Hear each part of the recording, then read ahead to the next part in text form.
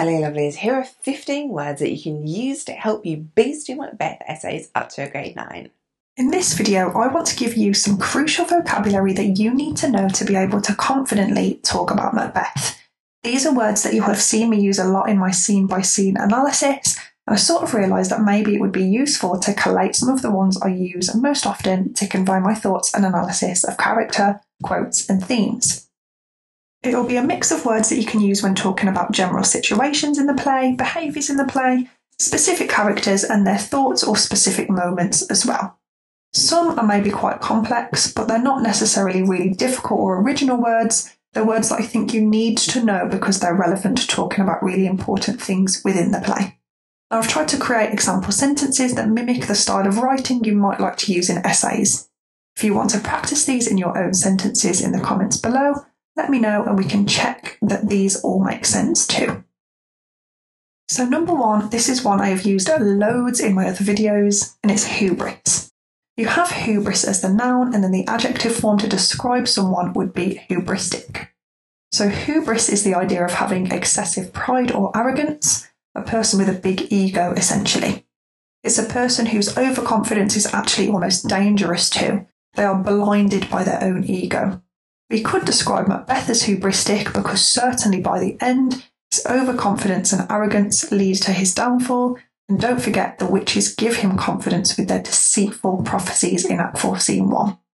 So, in a sentence related to Macbeth, we might say, by Act 4, the witches exploit Macbeth's hubris. The prophecies provided to Macbeth in Act 4, Scene 1 leave him believing he is absolutely invincible and cannot be defeated by any growing threat. Now, obviously, that's quite a detailed one. I'm trying to almost show you how you can use this vocabulary to describe certain moments and certain characters as a bit of extra revision for you, too. So, this kind of description would work well if you were asked to talk about the power of the supernatural or if you're trying to show how Macbeth changes throughout the play. Number two is turmoil or tumultuous. This one is brilliant for actually discussing lots of different moments in the play. Turmoil just means chaos. If something is tumultuous, it is chaotic. It's perfect for describing the witches, they cause chaos.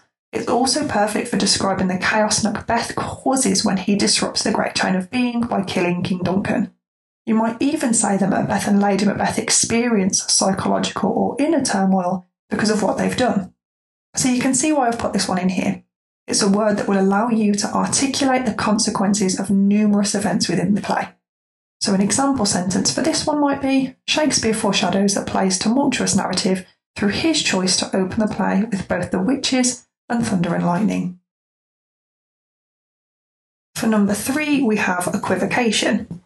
Equivocation is basically when people use unclear or ambiguous language deliberately to confuse someone, gloss over something, or conceal the truth. So, to be clear, it's not just lying because you're wording something really cleverly, so it's not technically officially lying. This will be because the words you use might have a double meaning or multiple ways of understanding it. So, for example, in Act 2, Scene 3, just after Duncan's body is discovered, Macbeth knows he needs to be careful with his words in front of the others. His reaction is this He says, Had I but died an hour before this chance, I had lived a blessed time. He's saying, If I had died an hour ago, I would have lived a blessed life essentially because he would never have had to be alive whilst Duncan is dead. It's cleverly worded though, because to the other characters, it's spoken to sound like he wished he didn't have to live to feel the pain of Scotland without Duncan. But to the audience, it reveals Macbeth's inner turmoil and the realization that he can never escape what he has done. So, this is actually an example of equivocation, as he cleverly speaks his true feelings, but in a way where nobody will suspect him, and you can see there how it isn't actually lying. Even more obvious examples of equivocation are when the witches cleverly trick Macbeth in Act 4 Scene 1, making him believe he will be safe unless the forest moves up the hill and so on. Obviously, he thinks that that's impossible, but the way they've worded it means he doesn't consider the soldiers might use it as camouflage. Ultimately, trickery, deceit, and equivocation appear constantly throughout the play, so these ideas need to be understood. So, finally, in a sentence, you might say this the witch's equivocation in Act 4 Scene 1 exploits Macbeth's hubris, and you can see again how I've used other words there too. for number four, it makes sense to continue with this idea of trickery. There are absolutely loads of instances throughout the play where someone is lying or putting on an act or being careful with their words. This all connects with that huge theme of appearance versus reality, where not everything is as it seems at face value. So, my main word here is subterfuge. You might have heard of the word facade or someone being duplicitous, which means two faced, someone doing something under false pretense, which just means trying to trick others, or someone simply being deceitful. All of these are absolutely relevant, and some will work better than others depending on what moment you're talking about in the play.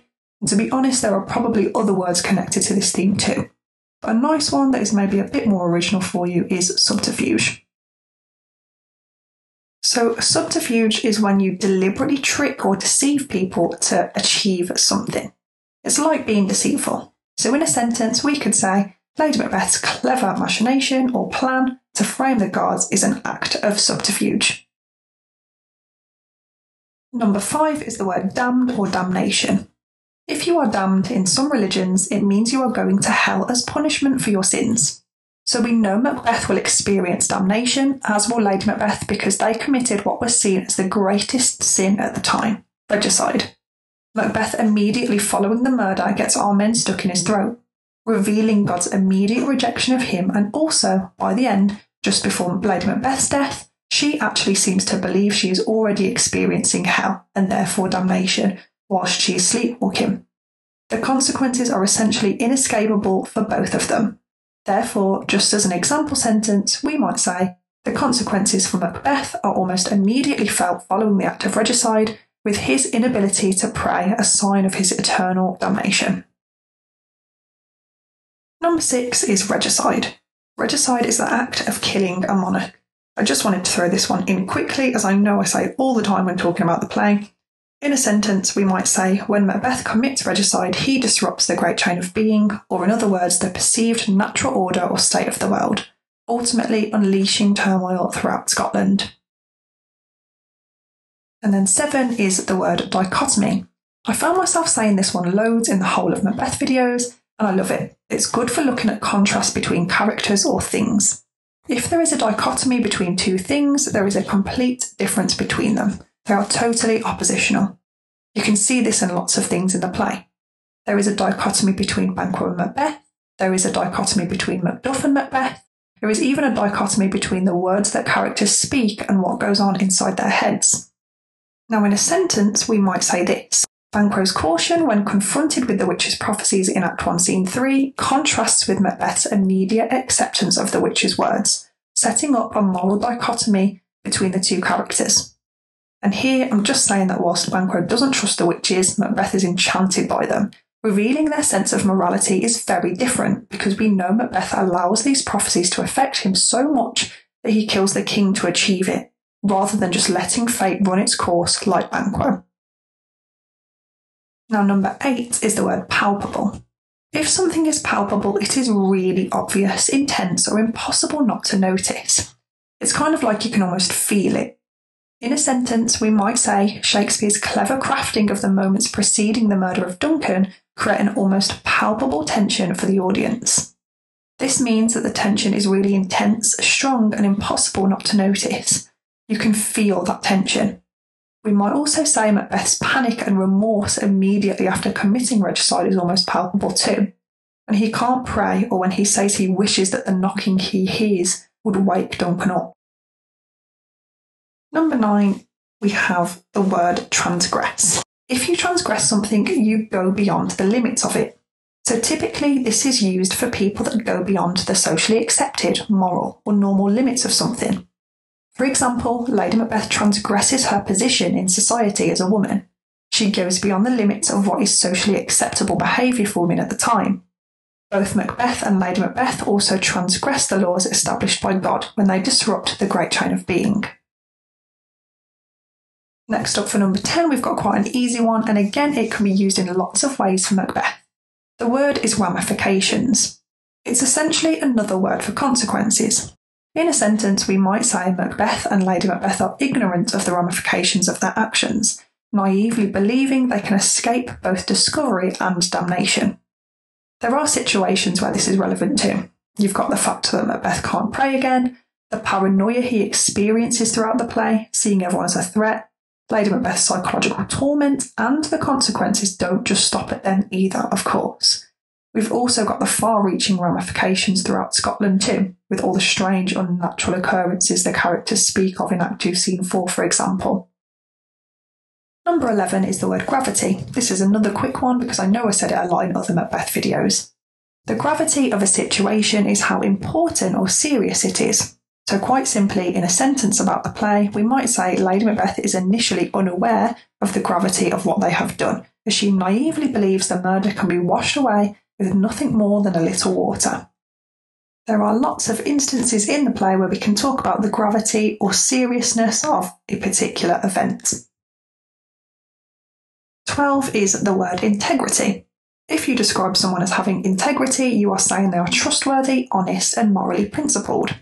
Essentially, they are a very good person with very strong values. So early on in the play, particularly in Act 1, Scene 2, the picture painted of Macbeth is that he has integrity. He fights for his country, he defeats the traitor, and does this for his king. This, of course, disintegrates with the witch's words and Lady Macbeth's corrupting nature. We also see characters with unwavering moral integrity. This means they remain honest and loyal no matter what. A good example is when Macbeth, knowing he's about to kill Duncan and worrying about Banquo becoming suspicious, tries to bribe Banquo into loyalty. He tells him that he will be rewarded if he stays loyal to Macbeth, but doesn't give too much away about what that reward will actually be. Banquo says he is happy to remain loyal so long as he can keep his conscience clear. So, in a sentence, we might say this in Act 2, Scene 1, when Macbeth tries to encourage Banquo to remain loyal to Macbeth, Banquo emphasises his desire to maintain his honour and keep his allegiance clear, reflecting his moral integrity. Number 13 is machination.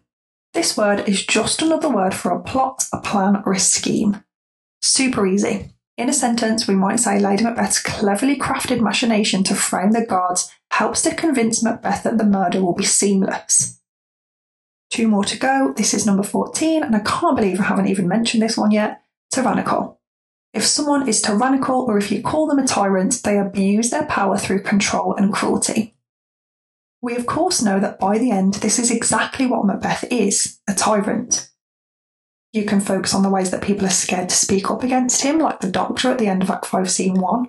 You can talk about how Macbeth's solution to his paranoia is to kill innocent people, and you can talk about the poor treatment of his subjects and servants.